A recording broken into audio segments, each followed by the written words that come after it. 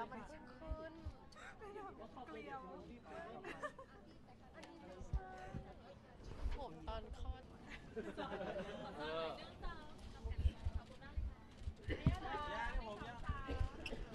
เมาจากอุดรเนาะเป็นไงบ้างคะมันโอ้ ดีค่ะดีค่ะ ก็เป็นเป็นประสบการณ์ใหม่ ๆ เรื่อยๆค่ะ เป็นการลำครั้งที่สองซึ่งลำผิดเยอะมาก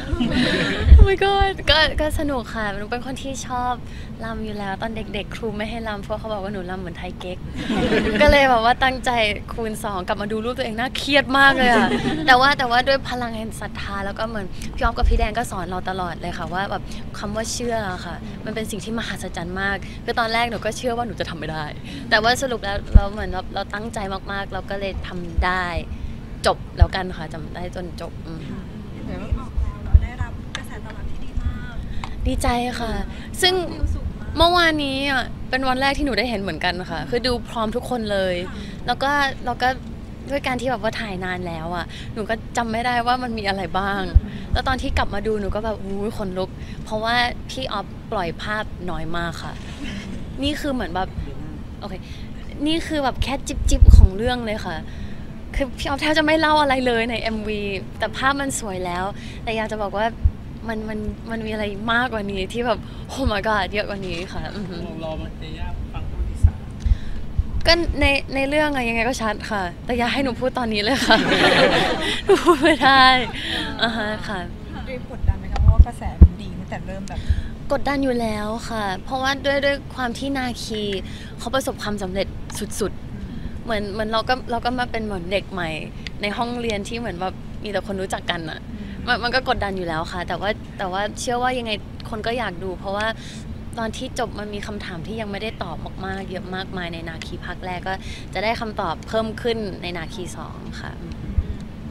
เป็นแบบอีกร้อยล้านเรื่องที่สองของย่าขอให้ได้ค่ะ เอา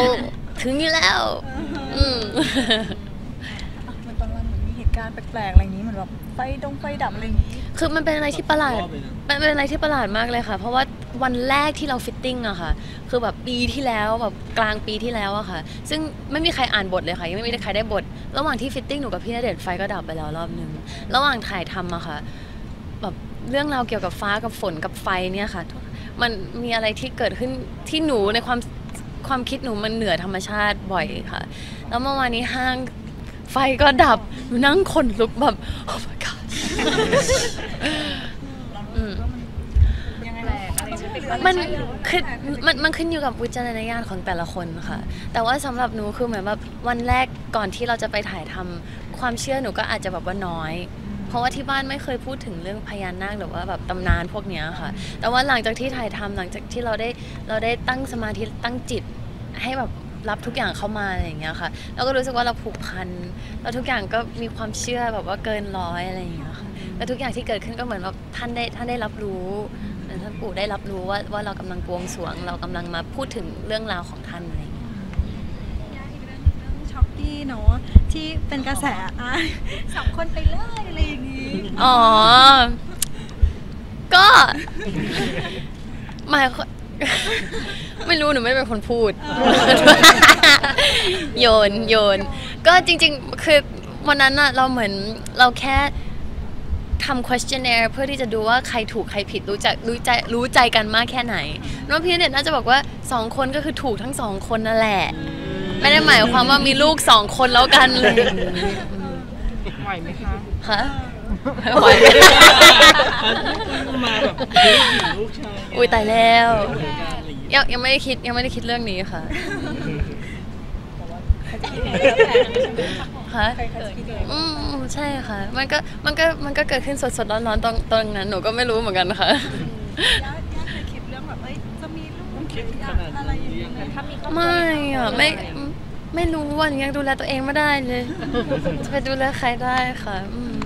จริงก็คือเรื่องนี้ดูเป็นเรื่องไกลตัวหนูอยากได้ผู้ชายค่ะอะไรนะคะ ดูเป็นเรื่องไกลตัวเราไปเลยตอนนี้ตอนนี้ไกลตัวค่ะ อืมไกล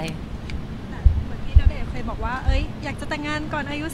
30อุ้ยตั้งนานไม่มีเวลาค่ะ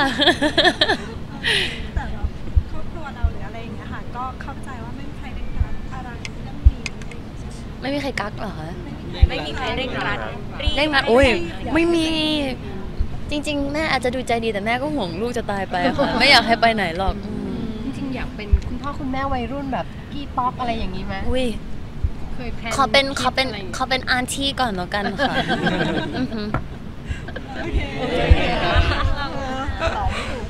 ติดตามข่าวบันเทิง พี่นายตะเทนแชนแนลอย่าลืมกด subscribe กันด้วยนะ